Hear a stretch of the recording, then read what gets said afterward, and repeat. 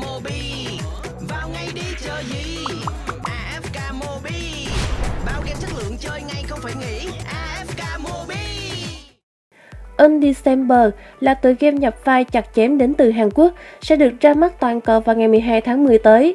Hứa hẹn sẽ là một làn gió mới cho dòng game đang rất ăn khách này. Gây ấn tượng bởi một cốt truyện có chiều sâu, cùng cơ chế xây dựng nhân vật tự do không giới hạn. In December được kỳ vọng sẽ mang đến một trải nghiệm khiến người chơi phải gật cù thích chí.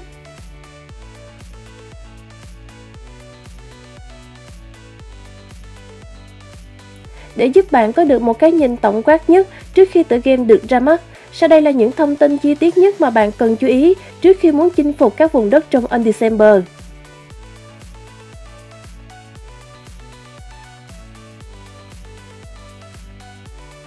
Cốt truyện Thế giới drama mà loài người sinh sống trong Undecember được tạo thành bởi sức mạnh của 12 vị thần tối cao. Cuộc sống nơi đây diễn ra vô cùng yên bình với sự bảo trợ của các thần linh. Một ngày nọ, một điều không ai ngờ tới đã xảy ra khi vị ác thần thứ 13 mang tên Evil Godstubborn xuất hiện và đảo lộn trật tự của cả thế giới.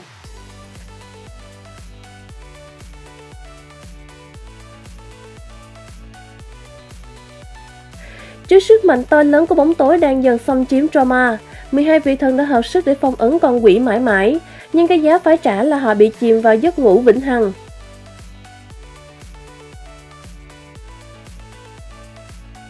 Hàng ngàn năm trôi qua, cư dân ở Troma bắt đầu tìm cách triệu hồi lại những vị thần, nhưng họ không nhận ra rằng đó cũng chính là lúc ác quỷ được hồi sinh. Người chơi sẽ đóng vai một chiến binh quả cảm bắt đầu hành trình tìm kiếm sức mạnh để ngăn chặn cái ác trỗi dậy một lần nữa.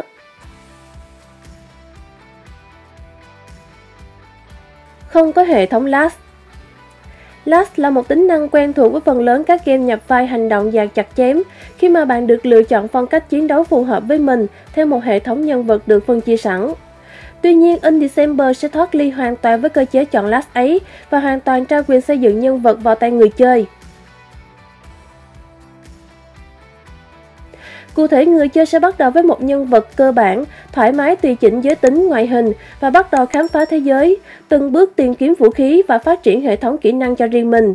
Các kỹ năng trong game sẽ có dạng những viên đá gọi là skill rune. Bạn có thể thoải mái lắp chúng vào nhân vật, từ đó hình thành bộ skill theo ý thích.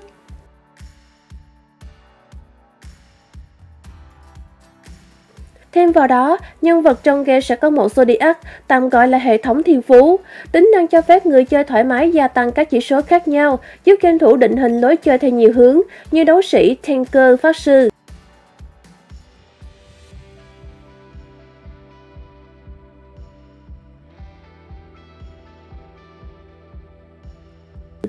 Đặc biệt, nếu bạn không vừa ý với cách cộng điểm của mình, bạn hoàn toàn có thể reset lại từ đầu bất cứ lúc nào.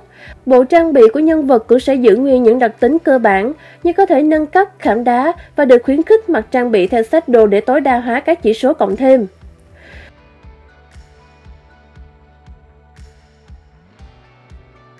Một điểm thú vị trong In December là bạn sẽ không bị giới hạn bởi vũ khí và bộ skill đi kèm, tức là bạn vẫn có thể cầm kiếm nhưng tung chiêu như một pháp sư, hoặc cầm cung nhưng lại triệu hồi quái vật để chiến đấu.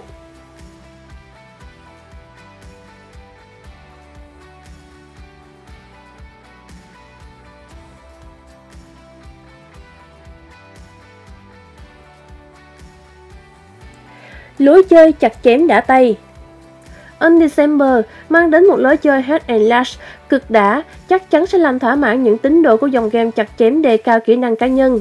Nếu bạn đã quá rành rọc với những gameplay của Diablo, Lies hay Path to Excel, thì bạn sẽ dễ dàng làm quen với lối chơi của On December. Di chuyển, đánh tay, tung chiêu, bạn sẽ phải mê mẩn với những combo skill cực kỳ hoành tráng quét sạch hàng chục kẻ địch cùng lúc.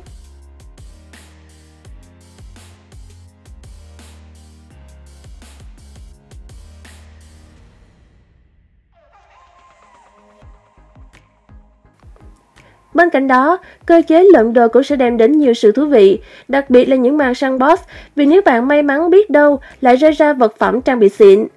Dù không thiếu những tựa game chặt chém hay đang có mặt trên thị trường, nhưng nhà phát triển của December vẫn rất tự tin sẽ mang đến một trải nghiệm nhập vai khó quên cho game thủ.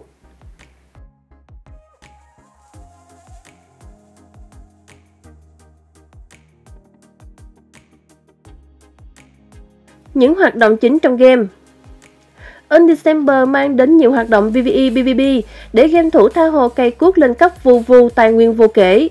Trước hết là hệ thống nhiệm vụ chính tuyến đa dạng, có chiều sâu, người chơi sẽ từng bước lật mở những mảnh ghép để sâu chuỗi là thành một câu chuyện hoàn chỉnh. Chaos Dungeon nằm trong đoạn kết của phần cốt truyện chính, bạn cần phải hoàn thành tất cả nhiệm vụ chính để tiến vào Chaos Dungeon, nơi bạn phải vượt ải nhiều tầng để chạm trán boss cuối cùng.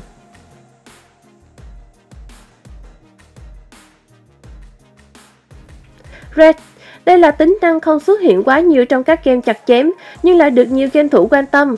Tại đây bạn sẽ lập tổ đội gồm 8 người chơi và bắt đầu tiến vào Red săn những con boss đáng sợ. Khả năng phối hợp đồng đội là chìa khóa tiên quyết để đánh bại quái vật và thu về phần thưởng giá trị.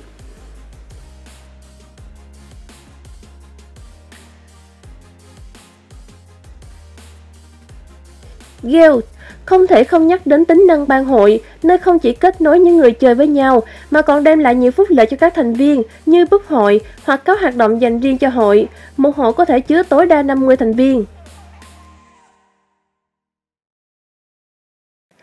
Mức độ Pay to Win Chắc hẳn không ít game thủ quan tâm rằng liệu In December sẽ hút máu người dùng tới đâu.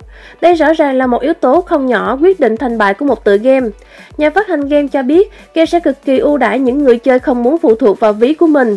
Họ hoàn toàn có thể phát triển nhân vật vô tư mà không lo thiếu vật phẩm hay trang bị tốt.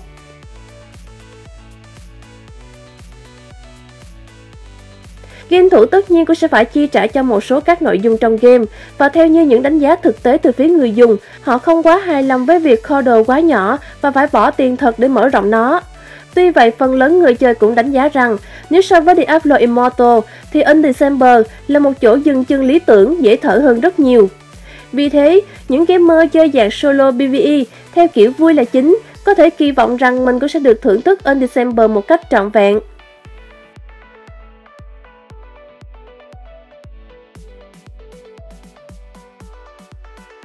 Tổng kết. Trên đây là những thông tin bổ ích sẽ giúp bạn có cái nhìn tổng quan nhất trước khi bước vào một thế giới mở rộng lớn của InDecember. Với những tính năng đặc sắc của mình, không ngoa khi nói rằng InDecember sẽ trở thành cái tên sáng giá trong dòng game nhập pha chặt chém trên thời gian tới.